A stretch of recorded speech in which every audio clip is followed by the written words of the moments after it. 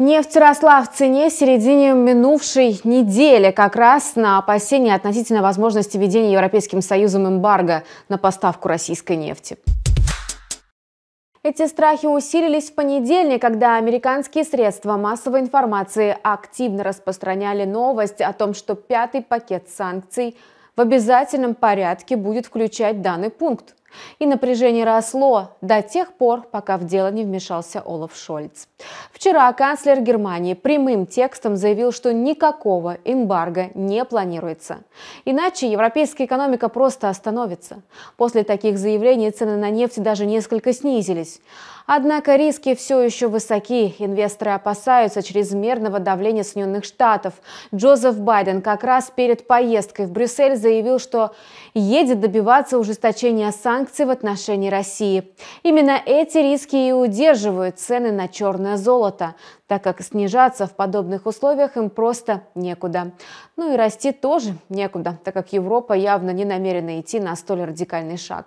Так что рынок замер в ожидании итогов визита президента Соединенных Штатов в Европу. Фьючерсы на нефть марки Brent замедлили восходящий ход в районе уровня сопротивления на отметке в 120 долларов за баррель.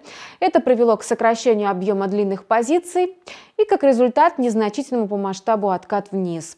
С учетом имеющегося настроя наблюдается все же преобладающий интерес к восходящему циклу, где недавний откат вполне может послужить в качестве перегруппировки торговых сил.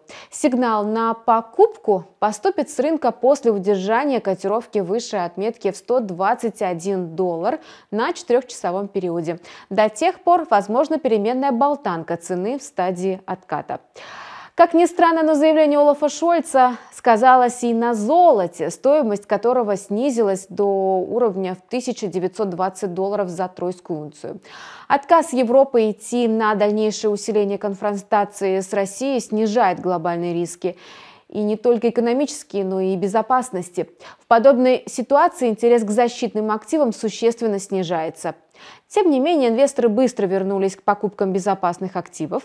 Риски по-прежнему высоки, и итоги поездки Джозефа Байдена в Европу могут внести определенные изменения в положение вещей, причем как раз в худшую сторону. Так что золото сохраняет потенциал роста, вот только зависит все это исключительно от политических факторов. Что мы видим на э, графиках, учитывая технический анализ? Динамика цен на золото на старших таймфреймах. Мы видим, что золото уже как несколько дней подряд практически стоит на месте и имеет переменную амплитуду в границах между отметками 1917 и 1950 долларов четкий сигнал к действию от технических индикаторов отсутствует, и это сосредотачивает на себе обильное внимание со стороны именно спекулянтов. В данной ситуации трейдеры по-прежнему рассматривают торговую тактику пробоя той или иной границы застоя с подтверждением на четырехчасовом периоде. В связи с этим позиции на покупку золота будут актуальны после удержания цены выше уровня в 1950 долларов на четырехчасовом периоде, а позиции на продажу были бы актуальны после удержания цены ниже 1915 долларов на четырехчасовом периоде. Ситуация по рублю остается в принципе неизменной. В ходе биржевых торгов доллар торгуется в районе 105 рублей. После же, их, эм, после же закрытия торгов сделки сразу же проходят ниже 100 рублей за доллар. Разница лишь в том, что если еще пару дней назад на межбанке могли пройти сделки по курсу ниже 90 рублей за доллар, Сейчас же такое практически не встречается, сделки проходят немногим ниже отметки 100 рублей. Получается, что межбанковский рынок постепенно стабилизируется и приходит в соответствие с биржевым. Так что речь идет о нормализации рынка.